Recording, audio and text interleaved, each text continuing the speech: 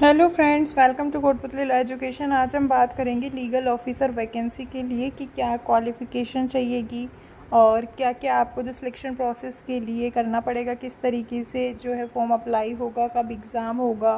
तो इसकी complete details आज हम इस वीडियो के थ्रू देखेंगे। तो आप इस वीडियो के लास्ट तक बने रहिए वीडियो को लाइक और शेयर भी कर दें चैनल को सब्सक्राइब भी कर लें, साथ ही बेल आइकन पर भी प्रेस कर लें।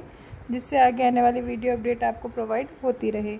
आप हमारा टेलीग्राम ग्रुप भी ज्वाइन कर सकते हैं। वहाँ भी सारी legal updates law entrance exam updates और बाकी जो भी सुप्रीम कोर्ट लेटेस्ट जजमेंट्स है, सब चीज़ें प्रोवाइड करवाई जाती हैं।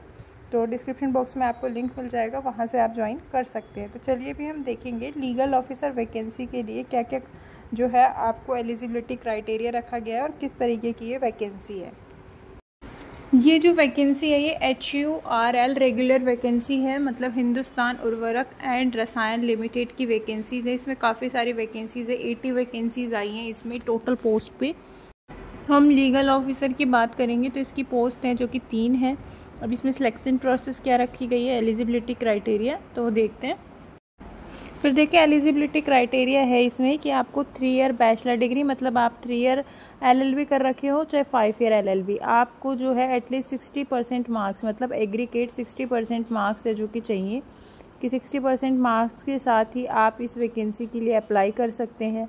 एल एल ईयर में बहुत रेयर चांस होते हैं सिक्सटी परसेंट मार्क्स के।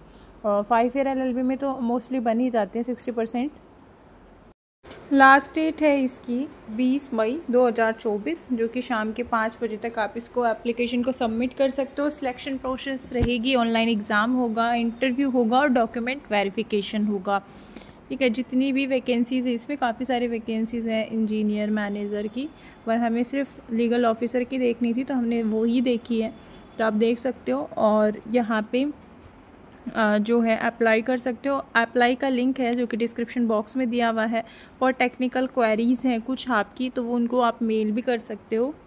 तो ये तो अप्लाई का लिंक है जो कि डिस्क्रिप्शन बॉक्स में देख सकते हैं। अगर कोई क्वेरी है तो आप ईमेल कर सकते हो इस ईमेल आईडी पे।